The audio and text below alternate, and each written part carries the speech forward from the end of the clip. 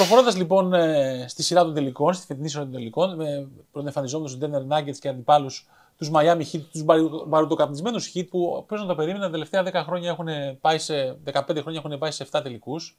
Από το 2006 δηλαδή που πήγανε πρώτη φορά και το πήρανε μέχρι και φέτος που ο Jimmy Butler τους είχε οδηγήσει σε αυτό το τη σειρά έκπληξη, να κάνουμε μια πολύ προσωπική κατάθεση και να πούμε ποιοι ήταν οι αγαπημένοι μας, οι πιο αξιομνημόνευτοι σειρά τελικών που έχουμε δει. Όχι που έχουμε δει σε YouTube και έχουμε δει αφιερώματα κτλ. Που να θυμόμαστε ναι, ναι. εμείς οι ίδιοι, να βάζουμε τα ξυπνητήρια, να γυρνάμε από ξενύχτια σωστά, να γυρνάω από δουλειά, ξέρω εγώ. Στη, ε, δηλαδή θα ξεχάσω. Ε, θα μιλήσουμε για αυτή τη σειρά προφανώς το 2005, όταν οι Detroit, Detroit Pistons πρωταθλητές Πέσανε τους Σαν Αντώνιο Σπέρ.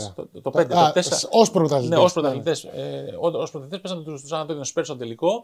Και το περίφημο Game 5 με το, με το winning shot του Χόρη το έβλεπα live στο ξενοδοχείο στην Κατερίνη μετά από DJ set με τον Νίκο, με τον Βουλιώτη και έχω κάτσει κάτω γιατί δεν είχαν καλό, πώς το λένε, super sport film, Nova ναι, ναι, ναι. τότε στα δωμάτια και είχε μόνο μια δηλώση που το είχε και καθόμουν κάτω και το έβλεπα εκεί πέρα. Κανονικά. δεν είχε τότε. Εντάξει, όλοι θα το κάναμε όλοι τότε. Λοιπόν, να ξεκινήσουμε με τον Ζαν. Ναι. Ο Ζαν είναι, για όποιον δεν ξέρει και εσείς άλλο πλανήτη και έχει παρακολουθεί για πρώτη φορά τους ε, Underdogs, είναι ο παδός των Celtics και ειδικά των ομάδων της Βοστόνης. Οπότε όλοι ξέρουμε πού θα κοιμανθεί, σε ποια περίοδο πιστεύω ότι θα φτάσει. Για πεζάν. Λοιπόν, ε, εγώ είναι ξεκάθαρο, σαν, σαν οπαδός ομάδας NBA, έχω ζήσει πάρα πολλές ε, απογοητεύσεις ε, για την δική μου ομάδα, αν εξαιρέσουμε πούμε, όταν μου άρεσαν οι Bulls, ας πούμε. Που εντάξει, όλους, όλους, όλοι έχουν νομίζω περάσει μια φάση που τους άρεσαν οι Bulls. Τους από κάποιους. Όχι όλοι. Βίτωνα. Ναι. Λοιπόν, αλλά Ήμουν πρώτα Minnesota Timberwolves όπως ξέρετε. Δηλαδή, γιατί με το που το είδα τον Kevin Garnett ερωτεύτηκα και λέω. Δεν το καταλαβαίνω αυτό, πάμε παρακάτω. Εμένα μου άρεσε ο Μάρμουρ περισσότερο. Εντάξει. Ωραία. Ε, αλλά ουσιαστικά δεν είχα ζήσει τελικούς να πηγαίνει η ομάδα μου, την οποία την ακολουθώ ε, μέχρι το 2007-2008. Εκείνη τη χρονιά, δεν ξέρω αν το ξαναπεί, είχα, πάει, είχα κλείσει να πάω να δω τους ε, Minnesota Timberwolves που ερχόντουσαν στην Ευρώπη, στην ε, Κωνσταντινούπολη να παίξουν φιλικό και λέω εντάξει πάνω τον Καρνέτ από κοντά. Και μετά έγινε το trade ε, και η δημιουργία της Big 3 και ακύρωσα τα ειστήρια αυτά και τα άλλαξα για Ρώμη. Που έπαιζαν okay. οι Celtics με τους Raptors στο, στη Ρώμη.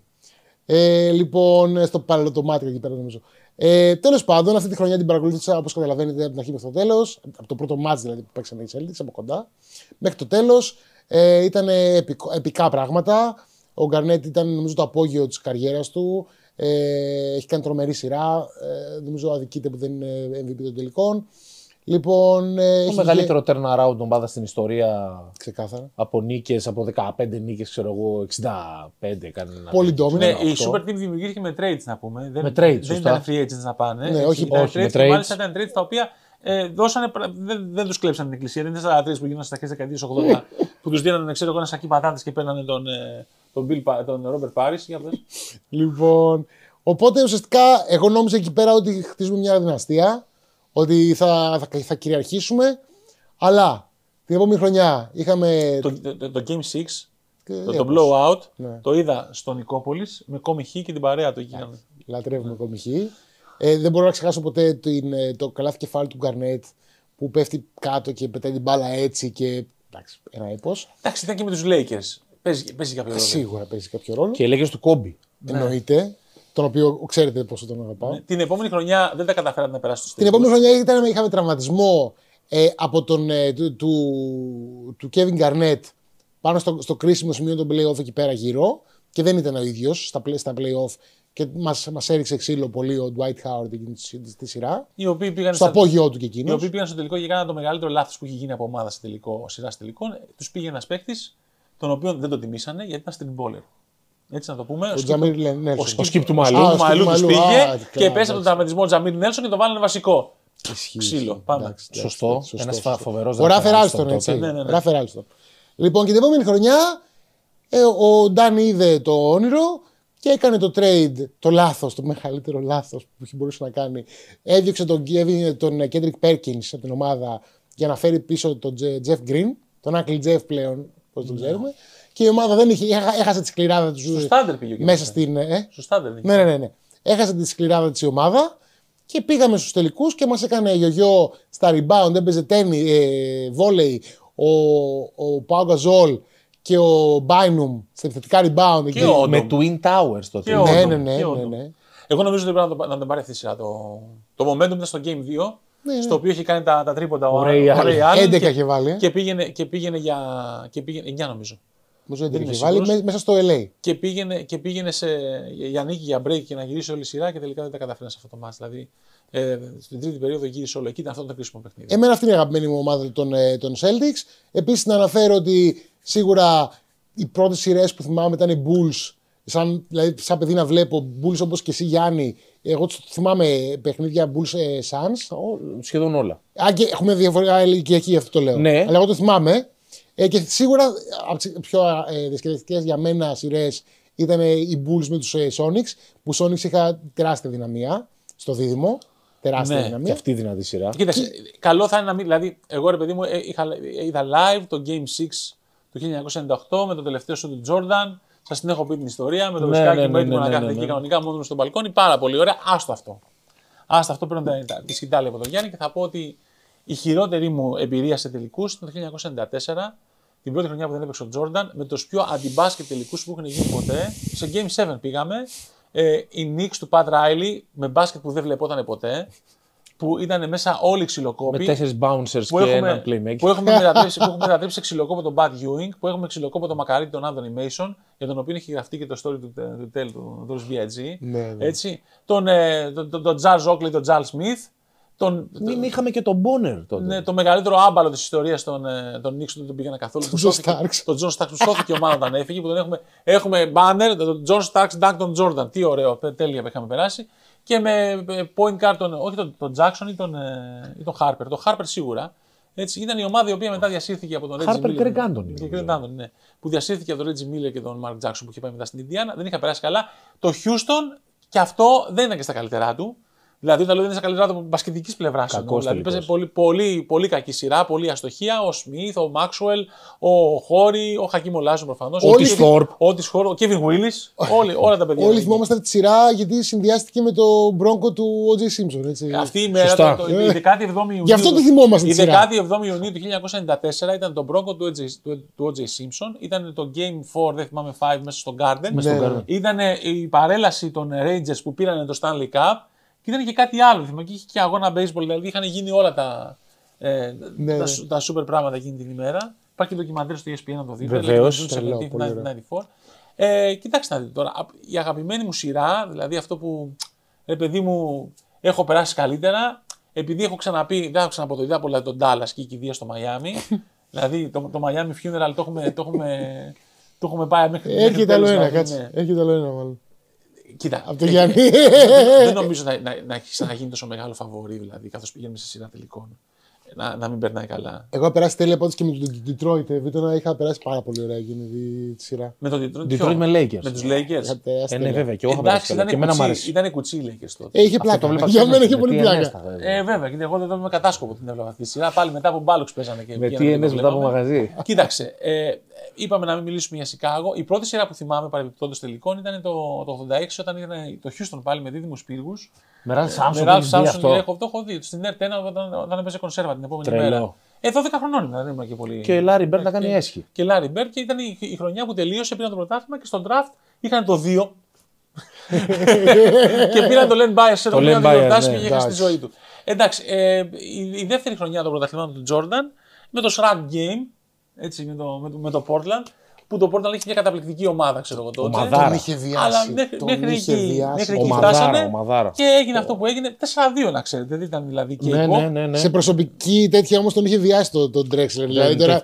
ήταν ο Porter, ήταν ο Duckworth, ήταν ο Robinson. Ο Jerome Κέρσι δεν, δεν ήταν καθόλου κακή. Όχι. Έτσι. Ομαδάρα. Το δεύτερο, το, το δεύτερο πρωτάθλημα, το πρώτο θρυπή των, των Bulls. Έτσι με χώρε Grand. Με... Ήταν το αντίστοιχο. Οι, οι, οι Blazers τότε ήταν οι Sonics που πετύχανε μετά. Ήταν τέτοιου είδους ομάδα ναι. σε ταλέντο και στο στυλ μπάσκετ ναι, κτλ. Ναι, ναι, ναι, ισχύει, ισχύει. Αυτά. Και μετά, τώρα πρόσφατα δηλαδή, προφανώς και το πρωτάθλημα του Γιάννη, το οποίο το, το, το, το έζησα δηλαδή ολόκληρο όλη αυτή τη σειρά, γιατί yeah. είμαστε και σε μια άλλη φάση τώρα με το, με το ίντερνετ κτλ. Ε, Όλους τους αγώνες με πάρα πολύ αγωνία, με πάρα πολύ μεγάλη ένταση. Έχουμε και έτσι την συμπάθεια όλοι νομίζω με τον Chris Paul. Ναι, και, και κυρίως.